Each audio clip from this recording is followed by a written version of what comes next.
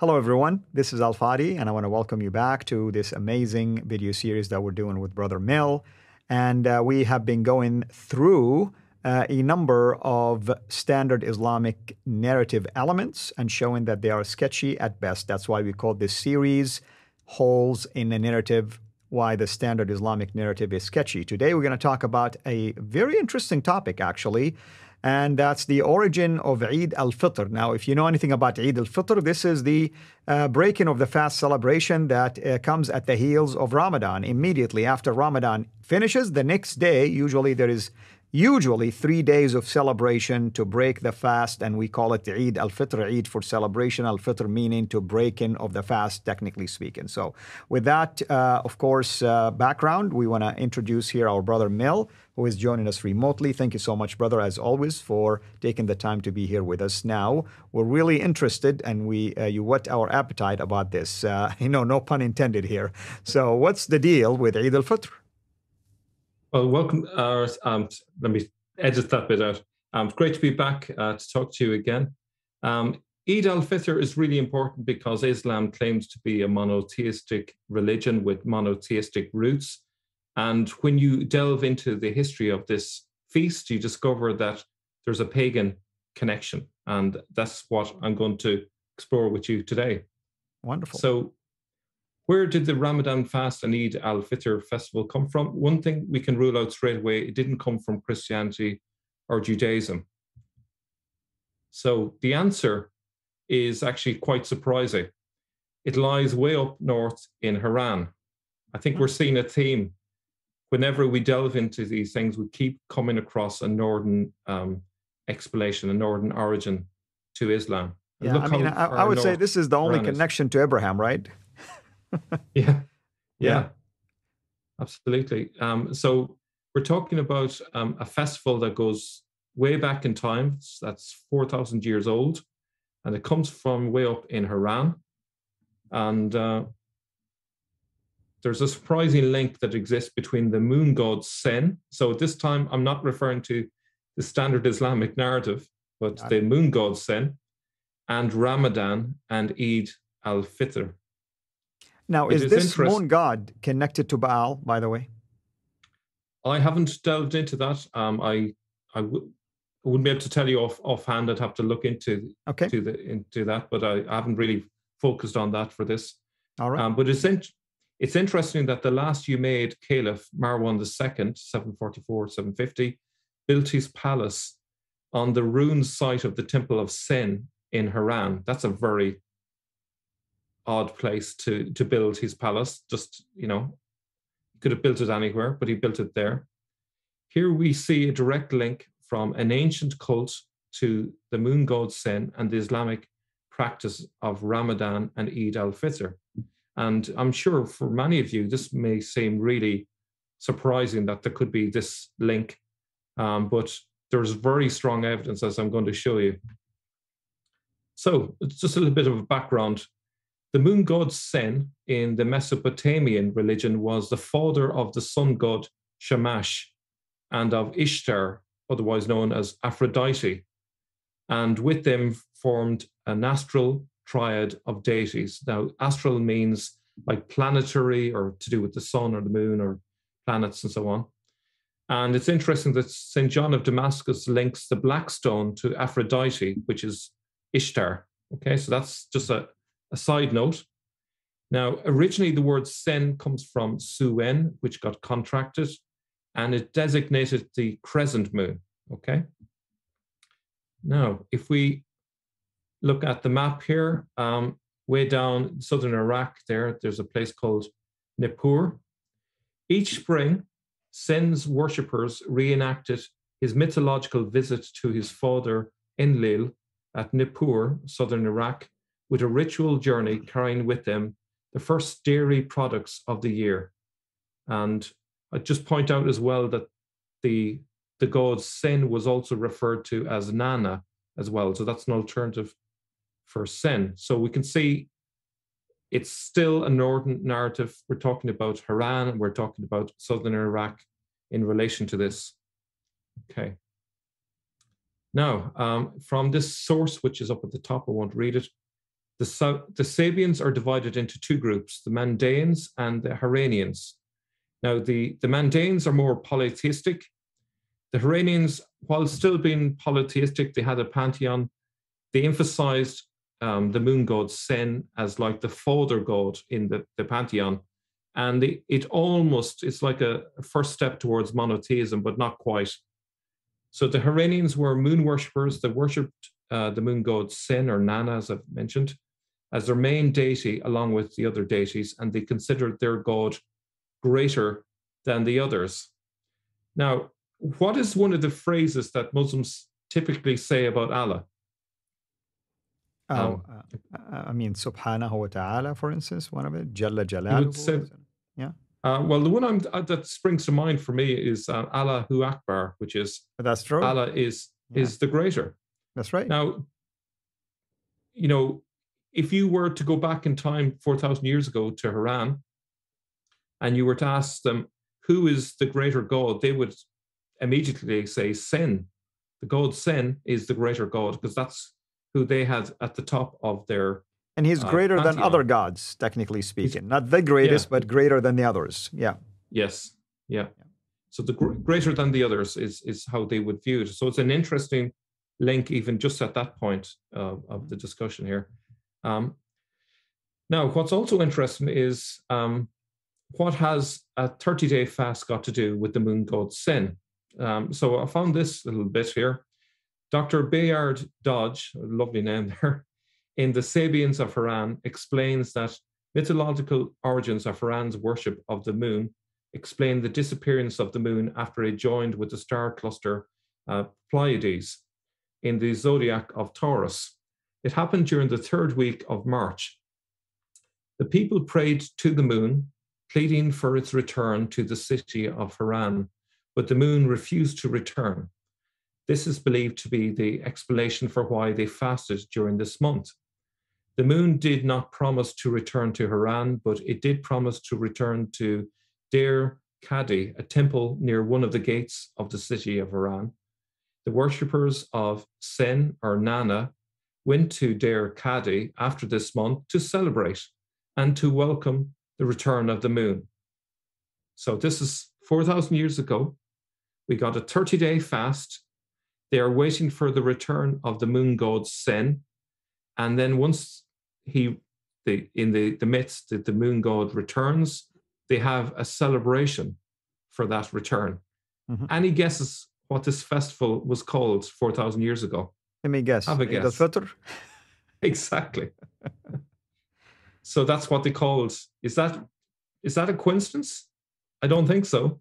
Of course. According to, according to 10th century historian Ibn al-Nadim, the Haranians called the feast Al Fitr. The spelling is different because it's um, it was originally in Akkadian and then in um, Sumerian. I may have got the which came first wrong there, but it was in both of those two languages. Um, so it's the same name by which the feast of the Islamic Ramadan is called Feast of Al Fitr, um, or that, that should be the the feast at the end of Ramadan. When Muslims celebrate Eid al Fitr, the breaking of the fast, they say numerous takbirs, Allah is greater. This echoes the idea that the moon god Sin is greater than the other gods, at least in the, in the earlier festival. Now, it was moved from the month of Rajab, which is the month around March, to Ram- Ramadan. Wow. Hence, I mean, that's, that's the seventh month of the Islamic uh, calendar. Yeah. Hence the reason the fast is called Ramadan and not Rajab. If they had retained its position in the calendar during the month of Rajab, it would have been really obvious that it's connected with the moon god Sen. Hmm. Maybe, just maybe, the reason they moved it might be to avoid it being so obvious. We don't know. We don't know exactly why they moved it, but in any case, they moved it from spring to summer and that is convenient because it it it hid that um, connection. Mm-hmm. Okay, and what we're missing in the explanation for for all of this is how it went from being a practice up in Haran to something practiced in Arabia in pre-Islamic times, which Islam then just took over. So, you know, that's the big nub of the question. And so I did some digging, and this is what I found out.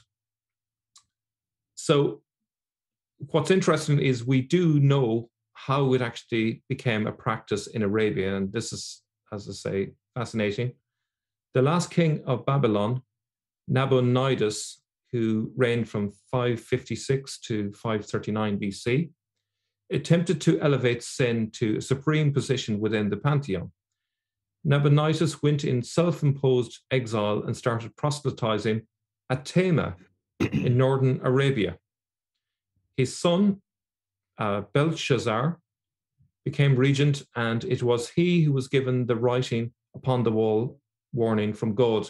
Now, I know you spoke to Dr. Joel. Is it Dr. Richard Joel? Uh, the, uh, Joel Richardson, yeah. Oh, sorry, Joel Richardson. Sorry, I got it mixed yeah. up. Um, I know he he referred to uh, Belshazzar, and uh, I thought mm-hmm. this this bit here was a nice link with what he spoke about. Um, w- one sanctuary that has been found dedicated to the god Sen was found at Sumara. Uh, sorry, I'll say that again. At Sumatar, um, Harabesi, close to Edessa and Haran, and is dated to the third century AD. So it is fair to suppose that the cult survived into Islamic times. We're not talking about a huge time before. We're not. It didn't just end in uh, the sixth century BC, but it carried on we can definitely say it carried on into the third century AD and probably carried on till the seventh century and then was just taken over. Um, this cult was spread right through uh, many parts of Arabia, and those um, Arabs who were pagan practiced this cult um, into the seventh and eighth century. And so, therefore, when Islam began, this got incorporated into their religion. That's my my take on it. Now, there's a very interesting thing about uh, Belshazzar's feast, which actually, as I'm going to argue, was the feast of Al Fitr. That's a bit of a bombshell. Mm-hmm. Daniel 5:1 says that King Belshazzar gave a great banquet for a thousand of his nobles and drank wine with them.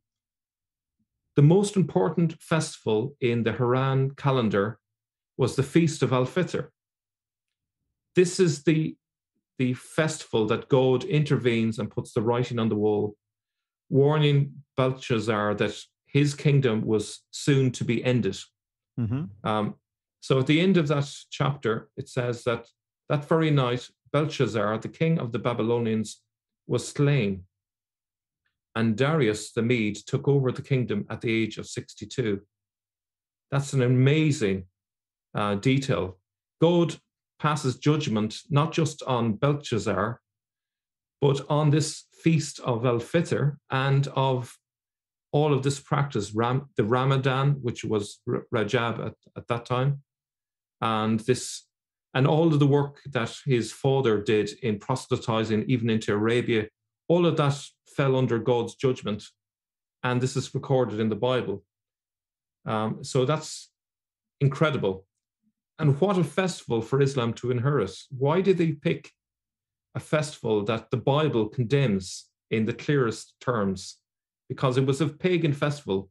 Instead of um, worshipping the, the God of the Jews, which is uh, Yahweh, these pagans were, were worshipping Sen, the god, you know, the moon god Sen and and the others. Um, and uh, and as punishment, God basically took away the um, the kingdom of the Babylonians. And just another little detail in the Bible, it says that they used um, wine cups that were found in Jerusalem. They took the, the wine cups from the Jews and used it as part of this pagan festival. And that was the, the trigger for God intervening and saying, no, you are taking sac- sacred objects and using them for a pagan uh, festival. This is not acceptable. And um, so they were condemned for that. Yep. Um, and to, what's really this gets better and better because in 1956, um, an archaeologist by the name of Dr. D.S. Rice discovered four stela, which are rocks uh, with inscriptions on them, down in the foundation of none other than a mosque in Haran. In, uh, as I said, in 1956, And this was on the site of an old temple dedicated to the moon god Sen. And they contain inscriptions on behalf of Nabonidus and his mother, bragging about his exploits to spread this cult of Sen far and wide, particularly in Arabia. So this is amazing that they found this. And I love the fact that it was found in the foundation of a mosque of all places. Um, so here are some of the translations from that. Um, down at the bottom here is uh, one of the stele has a depiction of Nabonidus. And in the, the next one here, um, we have another inscription. Um, and this one, it's an inscription from Nabonidus. And he, he basically talks about his work spreading the cult of Sen in various places, including places way down in Iraq and into Arabia. Um, and here's another one here. Um, you can see it's there's a re reference to Tema in Arabia there and a few other places as well. Um, so I, I found this um, about a year ago and I was blown away by this. So we have um, pagan cult to the moon god Sen. Uh, we have a con condemnation of it by God recorded in the Bible. We have proof that this Babylonian king propagated it in Arabia, and we know that Islam took up this festival and called it by the, exactly the same name, Al Fitr, as part of a supposedly monotheistic religion of Islam. So wonderful. So my verdict is both Ramadan and Eid al Fitr are both directly inherited from a pagan polytheistic cult dedicated to the moon god Sen. I'll hand back to you. Wonderful, brother. Thank you so much for sharing this, of course. And now uh, we're looking forward really to our next episode. This time we're going to talk about art revealing Muhammad, if uh, if I remember correctly. Yeah. Um, so it'll be interesting to look at how Muhammad is depicted in art over the centuries. Of course, many Muslims are unaware that Muslims had been drawn Muhammad for centuries. So that'll be our topic uh, during the next video. Wonderful. Thank you so much, brother. Thank you, everyone, for uh, following along and uh, hope to see you again next time. God bless. Take care. Thank you for watching this video. Be sure to like and subscribe to our channel CIRA International and click on the bell so that you receive notifications whenever we publish a new video or go live. I would also like to appeal to you to consider becoming a Patreon patron by clicking the link right below. By doing so, you can give towards the production of these videos. There are also other options for you where you can give to our channel. I thank you from the bottom of my heart.